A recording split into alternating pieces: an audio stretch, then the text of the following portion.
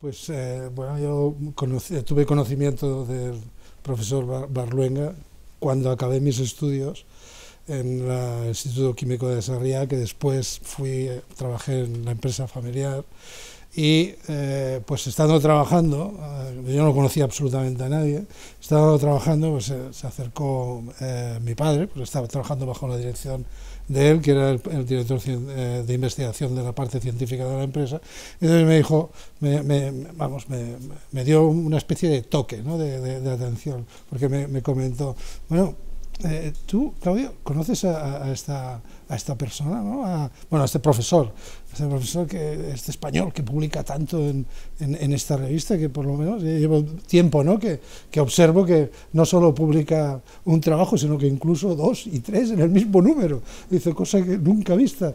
Y pues, yo, no tengo ni idea quién es. Claro, yo las únicas personas que conocía eran las que están próximas a, a mi padre.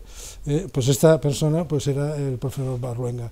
Entonces ahí fue la, la, primera noticia de, de, de un científico en España que publicaba de una manera uh, normal, ¿no? asidua. Y, pero yo lo que no tenía ni idea tampoco era la dificultad que entrañaba esto, ¿sabes?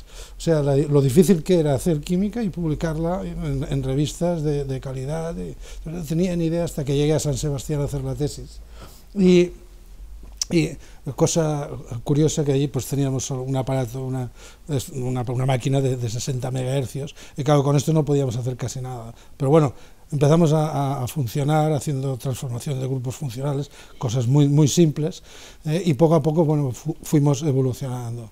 Entonces, la, la, yo recuerdo que la, la facultad pidió una, un aparato de una máquina de, de 300 MHz, efectivamente, 300 MHz. Yo, yo participaba en la propuesta, ¿no? pero simplemente como uno más. ¿no?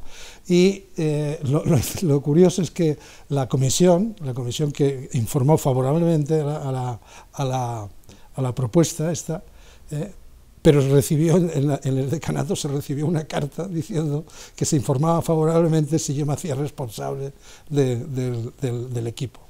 Bueno, esta es otra, otra anécdota que recuerdo del profesor Barona, es decir, de como diría yo, de, su potencia, ¿no? de decir, bueno, oiga, aquí las cosas son así o no, o no se hacen. Y digo, vale, estupendo. ¿no? Esta fue una, otra cuestión. Luego, también el primer proyecto de investigación que solicité, también fue informado favorablemente por la comisión, bueno, no sé si la misma, pero yo creo que también, también eh, estaba el profesor Barruega en, dicha comisión. Entonces, estos fueron las primeras, los primeros contactos que tuve. Luego, Luego también el profesor Arbora fue, eh, participó en la, defensa de mi tesis doctoral y después en la cátedra. Estos ya fueron los contactos más, más directos. ¿no? Y bueno, yo creo que eh, Barruema, pues, desde, desde que yo acabé, pues ha sido un referente, ¿no? un referente dentro de la química, en, en, no, no, solo particular mío, ¿no? sino, sino de la química nacional, ¿no? la química española y, e internacional, por supuesto. ¿no? Entonces, bueno, yo creo que es un poco la, esta, la, la, visión que yo, que yo tengo, el conocimiento que tengo y la visión que, que tengo.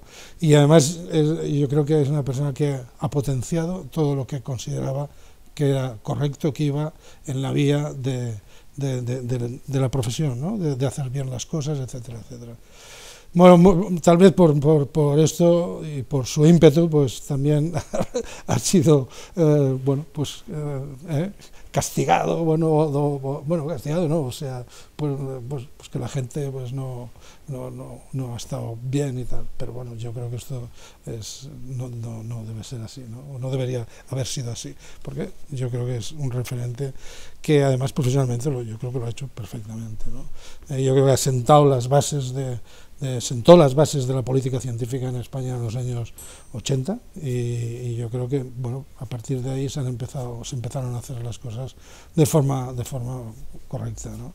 Pasa es que desafortunadamente ahora pues ya sabemos lo que pasa ¿no? esperemos a ver que haya otro cambio